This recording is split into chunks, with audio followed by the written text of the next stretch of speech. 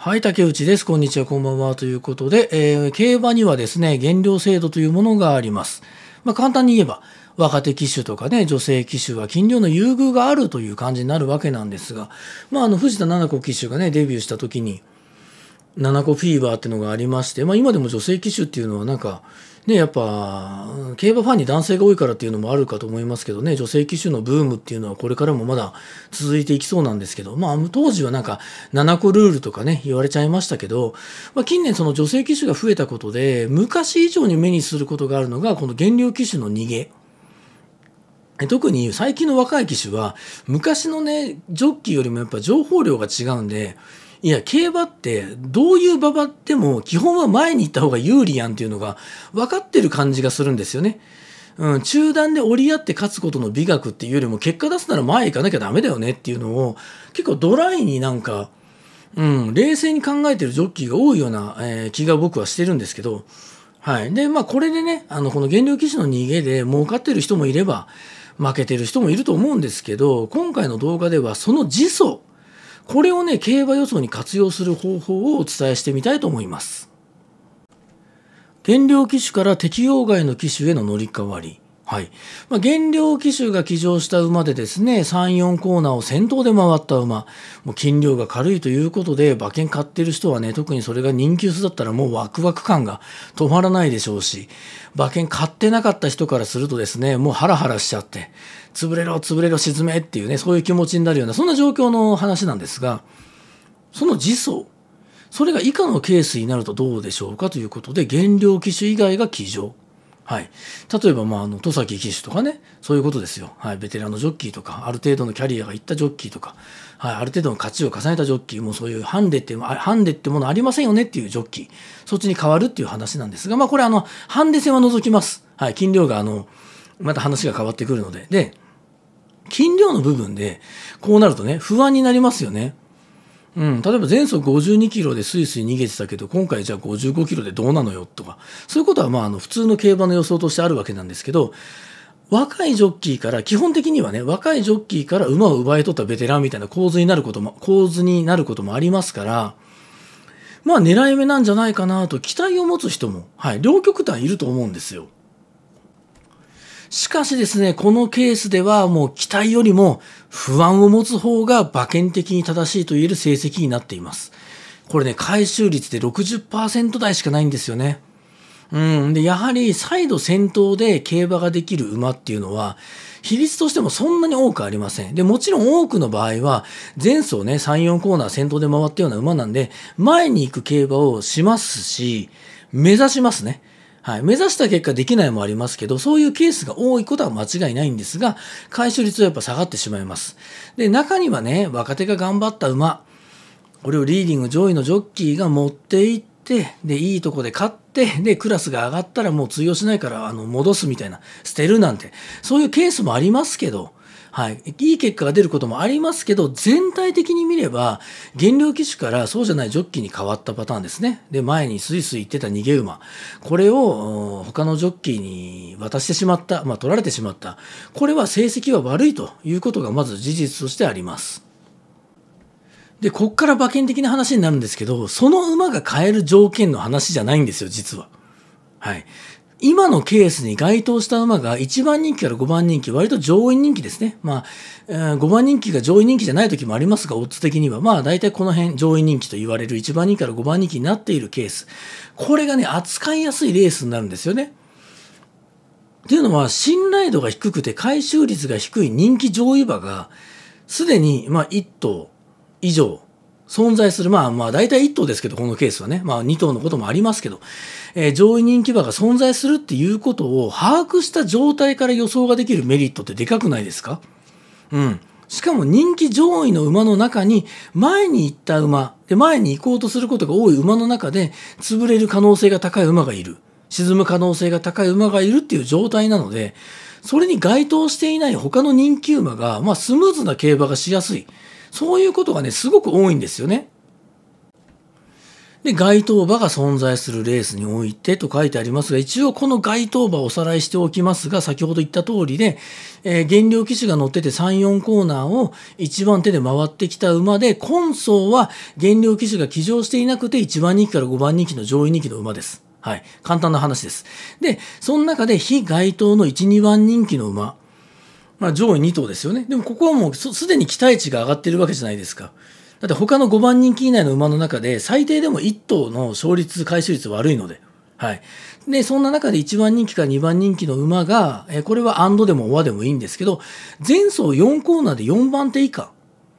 はい。前に行く馬じゃない場合ですね。はい。この合算の回収が100%ありますと。で、そりゃそうだなと。前に行って崩れてくれる、えー、可能性の高い人気上位馬が別にいるわけなんで、それはあの、控えて折り合おうとしている人気馬からしたら競馬しやすいですよね、基本的に。なので期待値が上がるっていうことにつながりますと。で特にこの状況下の該当馬、この、こっちの該当馬はこの1、2番人気の方の話ですけど、包まれて終わっちゃうっていうことが天敵になるので、はい。なんで、内枠の1、2枠を避けてね、えー、見てみると、回収率はやっぱり110%まで上がっているんですよね。ただね、これって本当にね、全く特別な話はないんですよ。一つもしてないんですよね。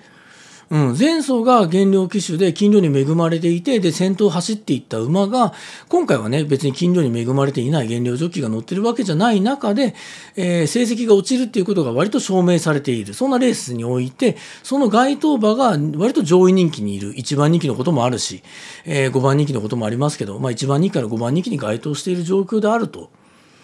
それに加えてその馬を前に行く確率が高い。で、えー、成績を考えればそこから潰れる、勝てない、沈む可能性が高いために包まれずに追走する人気馬の信頼度や回収率が上がるんだろうなと。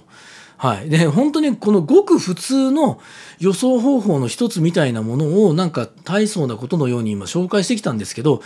普通のことなんですよ、これ。うん。で、ただやっぱり、今ってあのいろんなねあの、まあ、うちのチャンネルとか特にあのちょっと変わったようなこともね、まあ、クッション値を使ったりとかもあんまり未だに広まってないですし調教でもあのいろんななんでしょうねあの見方とかこの厩舎はこうでとかっていうあんまり人が知らないようなことを発信していることが多いチャンネルではあるんですけど普通の予想方法で成績がいいんだったらそれが一番だと思いますし普通っていうものをね普通の予想方法はい。え結果的にいいものですよ。結果が悪いものはダメですけど、結果が良くなる普通の予想方法をたくさん持っておくっていうことも競馬予想の強みになるんだなと思いますね。はい。なので、こんなようなね、普通の話をたくさん、うん、集めることが効果的だと思いますし、皆さんの頭の中にある競馬の予想をやってて、いや、これって普通に成績いいよねっていう想像できることを、まず紙に書いて、もしくは頭の中でイメージしておいて、それを調べる。で、それが成績が良かったら、本当に良かったら、これはですね、あの、もう馬券法とかじゃなくって、普通のいい予想なんですよ。うん。それを手に入れるのって自分の中の経験とか妄想とかその仮説を立てるとかなんですけど、常識からあくまでもね、もう常識だけで作ったものっていうのは多分最強です。はい。なのでね、あの皆さんもその最強のね、自分の予想方法を探してほしいなと思います。はい、そんな感じでお届けいたしました。ぜひね、チャンネル登録や高評価していただけたら嬉しいなと思います。競馬本著者の竹内がお届けしている竹つべというチャンネルになっておりますが、まあさっきも言ったみたいに、あの、ちょっと斜めの角度の話が多いチャンネルなんですけど、でもやっぱ普通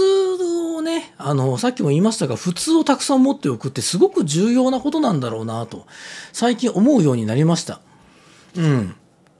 で僕自身もですね、普通のことを、あの、調べてみたときに、あ、やっぱ成績いいじゃん。100%超えてなくても、あの、回収がね、80%台後半とか90%台半ばとかのものって結構出てくるんですよ。うん。え、こんな当たり前の予想っていうか当たり前に考えたことで回収率が高いことがまだ残ってんのっていうふうに思うことがあるんですけど、今の時代に。でも多分ね、山ほど残ってんだろうなと思うんですよね。うん。だからなんかそこって意外とまだ宝物がいっぱい眠ってるんだろうなと思いますし、うん、他のなんかね、短期間ガーッと成績が良い馬券の狙い方とかよりも、長期的に馬券を買っていくんだったら普通に成績がいいもの。ねそれが一番いいんじゃないかなっていうふうに思いましたね。スタンダードというか、なんでしょう、近所の定食屋のなんかあのね、鮭定食がうまければ一番いいじゃないですか。なんかね、あの、すごい流行ってる店に並んで、なんかたまに食べたくなるなっていう味のものとかもね、あったりしますし、わ、あのラーメン月1は食わなきゃダメだなっていうのはあったりしますけど、いや別に俺毎日この鮭、鮭定食食えたらそれでいいな、みたいな。なんかそういう店をなんかたくさん持っておくのが一番幸せなんじゃないかなっていうふうに今喋りながらふと思ったんですけど、まさになんか、だから今回の動画でご紹介した内容っていうのはなんか、鮭定食。なのかなという感じですね。はい。まあ別にですよ。あの皆さんが鮭嫌いでもいいんですけど、あの味定食でもサンマ定食でもですね、豚汁定食でもなんか別にあのベーシックなものなら 何でもいいんですけど、はい。そういうものをですね、なんかたくさん見つけてほしいなと思いますし、で、僕もまたこういうものはね、見つけたら発信していきたいなと思いますし、よろしければ皆さんもなんか情報提供でね、こんなの面白いですよとか、たまにくださる人いるんですけど、うん。なんかそういうのもですね、いただければなんかあのまた動画にしたいなと思っておりますので、よろしければまた今後もね、このチャンネルを見ていただければ嬉しいなと思います。ということで、最後までご視聴いただきありがとうございました。竹内でした。バイバイ。